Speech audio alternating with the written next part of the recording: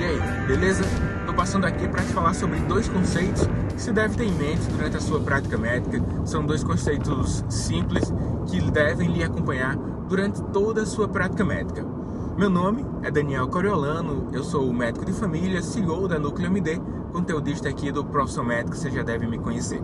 E os dois conceitos são ambiguidade e incerteza. Esses conceitos lhe acompanham sem dúvida, seja você médico recém-formado, estudante de medicina, seja você um médico com muitos anos de experiência, porque é algo comum das pessoas. As pessoas não chegam até você com problemas bem diferenciados, as pessoas não chegam você a você depois de ler um livro estabelece uma história natural durante a anamnese, você não encontra bem descrito ali no seu paciente aquela história natural que você estudou, que você é expert, que você aprendeu durante a graduação. As pessoas podem chegar até você com problemas indiferenciados, e isso tudo é sobretudo visível na atenção primária à saúde. As pessoas chegam com queixas inespecíficas, elas chegam com duas, três, quatro queixas que não remetem você a ter um diagnóstico preciso e, consequentemente, você não consegue estabelecer uma conduta médica adequada nesse primeiro momento.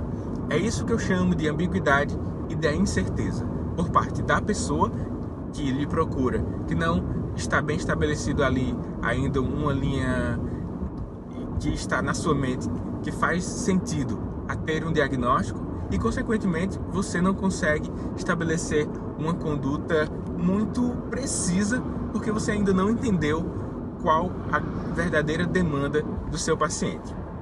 Mas na atenção primária à saúde, você tem algo chamado demora permitida.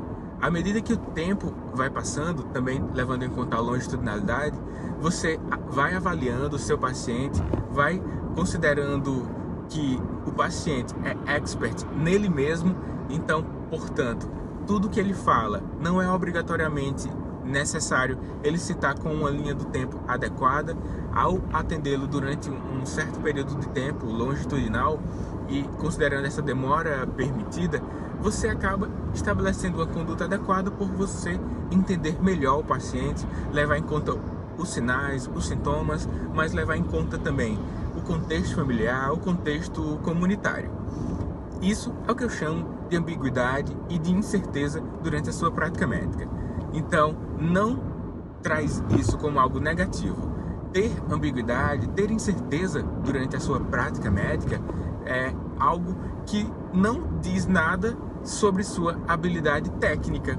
A sua habilidade técnica, ela pode estar bem estabelecida, pode ser excelente, mas mesmo assim você vai ter ambiguidade, incerteza e olha só, durante toda a sua vida e sobretudo se você trabalha no campo da atenção primária à saúde.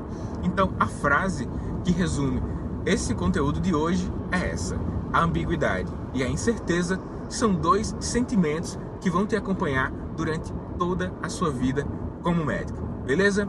Se você quer ampliar mais o entendimento sobre esse tema, eu vou gravar um, um webinário, uma aula online sobre registro clínico e organização de consulta, que também vai envolver isso, um pouco disso que eu falei sobre essa ambiguidade e a incerteza. Se você está acompanhando esse vídeo aqui nas redes sociais, clica no, vi, no link que está junto a esse vídeo, você vai verificar qual o dia e a hora da transmissão dessa aula online e vai poder acessar um dia e horário específico. Clica no link que junto a esse vídeo e a gente se encontra lá no, na aula ao vivo. Aqui é Daniel Coriolano, um forte abraço e até lá.